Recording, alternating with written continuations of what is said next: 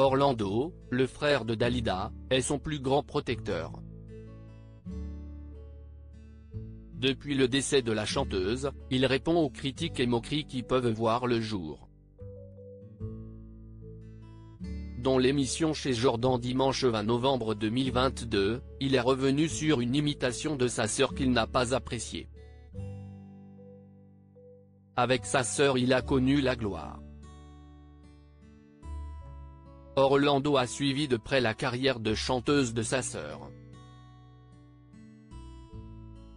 À ses côtés, il jouait le rôle de directeur artistique ce qui lui a permis de propulser l'artiste sur le devant de la scène. En France, mais aussi à l'international, Dalida devient un réel mythe.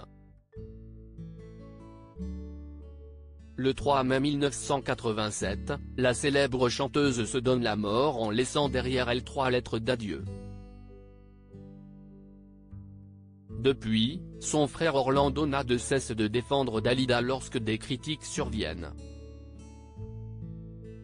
En février 2017, dans l'émission Actuality diffusée sur France 2, il est confronté aux deux humoristes Mathieu Madénian et Thomas VDB. Ces derniers ont décidé de faire un sketch dans lequel ils imitent la défunte artiste.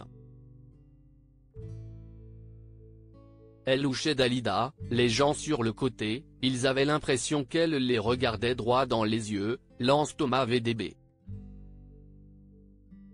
Un commentaire de trop pour Orlando. Je l'ai mal pris de passage dans l'émission chez Jordan dimanche 20 novembre 2022, le producteur a été interrogé sur cette séquence.